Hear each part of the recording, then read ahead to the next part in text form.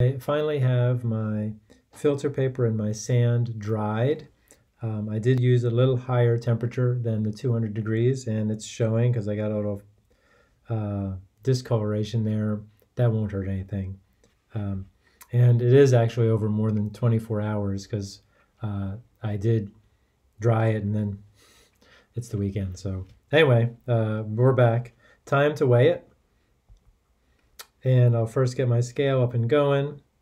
Got the dot, that means it's all ready to go. Put my uh, filter paper with my sand on there. It's my, yep, my, oh, my dot left. And I get 9.53 grams. Yes, we'll take that. And um, so now my table is complete here. Uh, I've got, um, and so uh, now let's see, some things. You can see I did this calculation. Let's just talk about all the calculations in this video. So the uh, mass percent of each of these, so this is the mass of the beaker, beaker plus plastic, etc. Then I isolated each of these, so 3.38 grams is the 28.11 minus the beaker. Then here minus this gives me the salt. Here minus this gives me the sand. And then the percent is going to be mass of each component divided by the total here times 100%. I've already gone over how to do that. And so uh, all of the percents within rounding errors should end up to uh, 100%. And you can see I've got three sig figs here, which is good because I've got three sig figs for each of my masses of my components. Four sig figs here, but multiplication and division always ends up with the smaller number. Now, let's fill in this table down here. So um, in sample before experiment, I've got my sand, which was 7.90. I've got my table salt, ooh, so yes, which is 7.99, and those are grams. And I've got my mass of plastic pieces, which was 3.38. Um, recovered after experiment. Well, uh, my sand after the experiment is going to be filter paper plus sand minus filter paper. So I'm going to subtract these two numbers.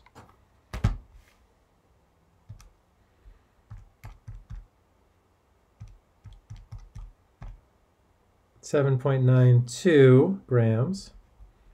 So pretty close. I actually, it, it looks like I got more, which is physically impossible. So there must be an error in there. Uh, that's a 2.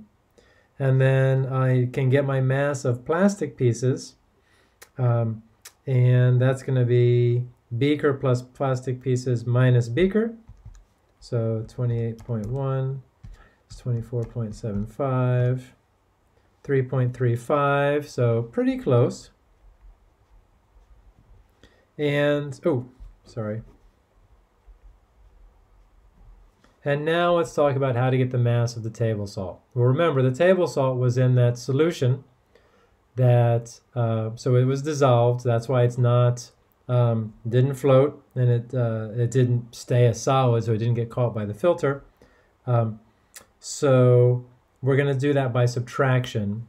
And we know that we started with 19.27 grams of unknown, of sample. We know that we have, according to our calculations anyway, 7.92 grams of sand.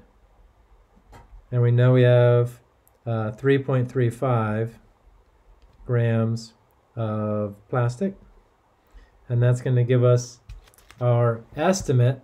And if we wanted to, we could have boiled off all that water and, and weighed the salt. That's a little more complex uh, than uh, I'm ready to do in this lab. But let's see, so 19.27 minus 7.92, 3.35. And our estimate, is that right?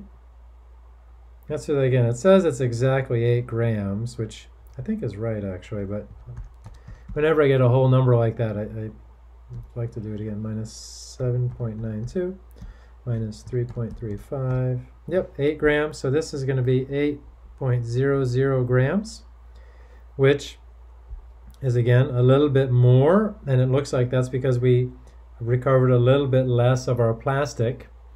Um, but these are pretty good numbers. These are very close. Our percent yield is going to be our experimental result minus, or sorry, divided by our um, uh, correct result. And our correct result this time is what we started with. We know that's correct because we weighed it out. So this is going to be a correct. Um, so our percent yield is going to be experiment or actual, we would call this, divided by correct times 100%. So 7.92 divided by 7.9 times 100. I get 100.3%, or because it's 3 sig figs, it's going to be 100%. And to make it clear that we have 3 sig figs in this number, it's going to be 1.00 times 10 to the second percent, which is 100% with 3 sig figs.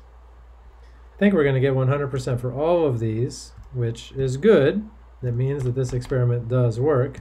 Divided by 7.99 times 100. Same thing again. 100%. This one might be a little bit off, so 3.35 divided by 3.38 times 100. Yeah, this one I get 99.1% which is easy to do with three sig figs. And um, those are our percent yields, and those are all of the calculations, I think. Let me double check. Oh, um, it says percent error. And let's go ahead and do that. Percent error, as we know, and we'll do that over here. Percent error is going to be experiment or actual minus correct uh, divided by correct. So 7.92 minus 7.90 over that's 0.92 uh, 7.90 times 100%. This is going to be the sand percent error. And when we see this here, we will get 0.02, which only has one sig fig. So our answer will only have one sig fig. 0.02 divided by 7.90 times 100. And we get 0.3% error. In the sand, and that makes sense because uh, it was 100.3% before. I'll allow you to do the other 2% errors. Make sure you show me at least one of your calculations. And the percent errors, uh, so uh, whatever you get is what you get. Make sure you do the calculations correctly.